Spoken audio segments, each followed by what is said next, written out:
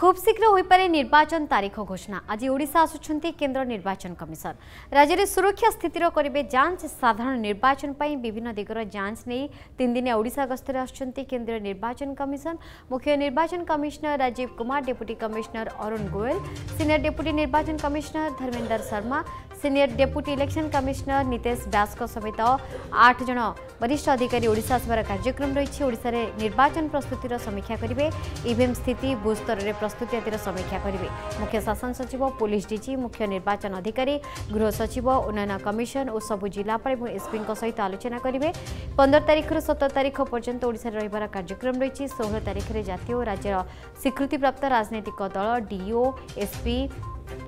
CP divisional commissioner আইজিঙ্ সহিত নির্বাচন করবে ସେହିପରି ସତର ତାରିଖରେ ରାଜ୍ୟର ମୁଖ୍ୟ ନିର୍ବାଚନ ଅଧିକାରୀ ରାଜ୍ୟ police nodal officer CPF nodal officer ମୁଖ୍ୟ ଶାସନ ସଚିବ ଡିଜିପିଙ୍କ ସହିତ ଆଲୋଚନା କରିବେ ସମସ୍ତଙ୍କ ସହିତ ବୈଠକ ପରେ ଇସିଆଇ ସତର ତାରିଖ ଅପରାହ୍ନରେ ସାମ୍ବାଦିକ ସମ୍ମିଳନୀ କରିବେ India Sri Rajiv Kumar and the Honorable Election Commissioner of India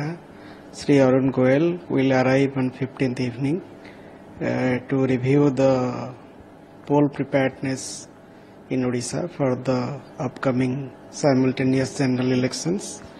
Uh, they have a two-day long program here.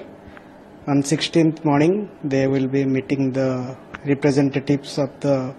national and state recognized political parties.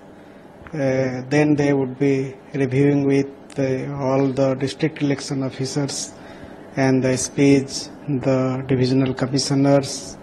the range IGs and DIGs. On the second day, they will have uh, meeting with the regional heads and the nodal officers